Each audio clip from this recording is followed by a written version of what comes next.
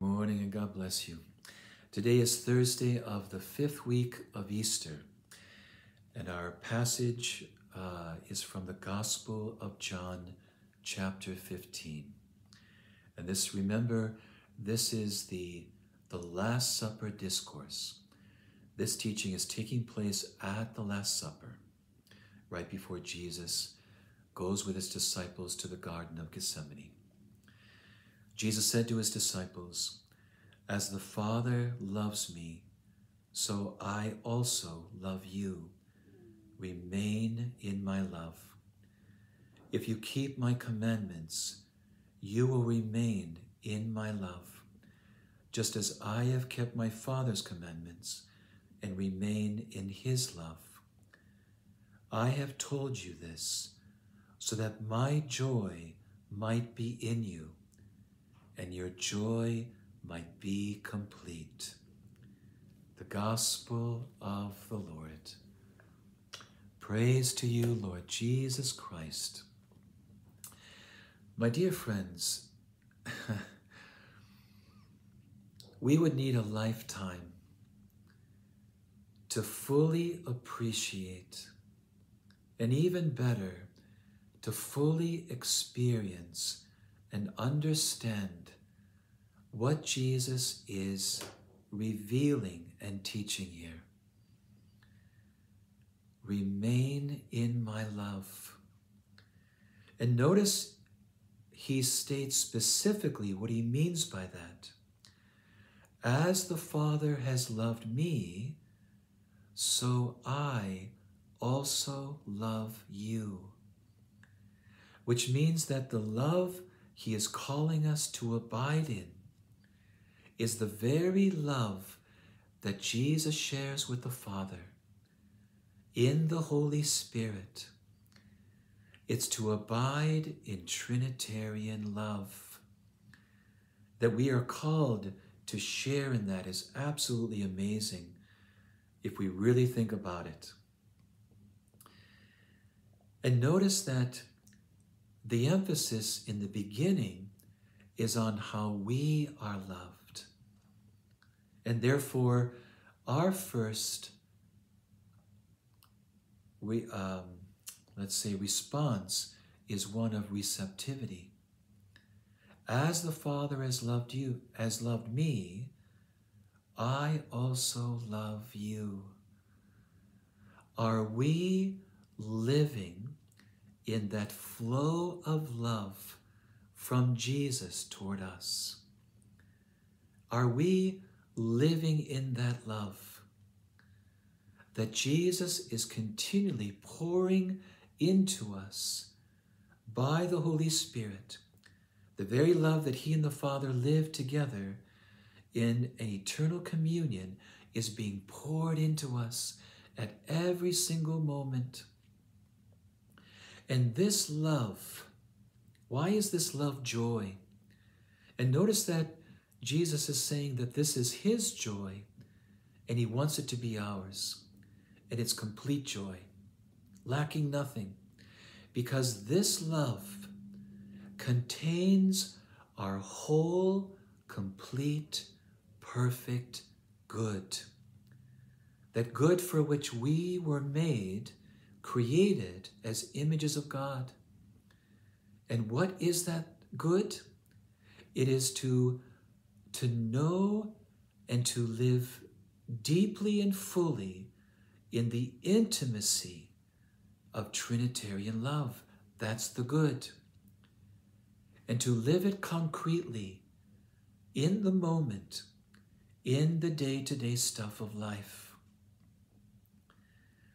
This is where the, the obedience comes in and why Jesus mentions commandments as a necessary part of abiding in this love. This seems uh, contrary to what we might think in our, our fallen human nature. Uh, that obedience would be the source of joy and the greatest human flourishing. Because love is more than a feeling or a sentiment. It is a choice that we make with our freedom. Jesus said, No one takes my life from me. I freely choose to give it and to give it away, to lay it down. Since abiding in love is first receiving the flow of love from God, our Christian life is a response. It's always a response. First, loving God with all our heart, mind, soul, and strength. That's the first and greatest commandment. And the first three of the Ten Commandments are about love of God. And then love of neighbor is another way that we respond to this flow of love coming to us. And Jesus specifies that when he says, to love one another as I have loved you. A love that is willing to sacrifice even to the laying down of our life. So, this is one way to understand the call of the priesthood. The most important thing that a priest witnesses is to witness intimacy with God, intimacy with Trinitarian love. This is the most important thing that a priest is called to witness. And yet, look what the priesthood has become today. And therefore, the greatest good that a priest desires for his people is what? The very good that we're talking about, that every person in the parish comes to know this love, this love of God through Jesus in the Spirit for them. That they live in this flow of love of Trinitarian love, and they live intimately in it, deeply in it, and live from it in the day to day stuff of life. This is the good that a priest should desire for all his people, and the good that he must serve with his life of prayer, his life of pastoral ministry, his sacramental life. If this is not what the priest is witnessing and what the priest is serving,